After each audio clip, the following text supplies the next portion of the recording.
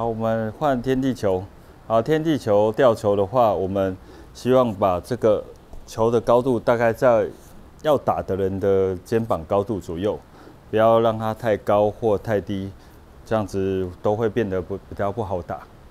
好，我们开始打速呃吊球，然后吊球的打击的时候，我们可以先打它，打抓到这个节奏，然后回来拍掉它。让这个球可以停止，这样子你后续的动作会比较好去好去再攻击。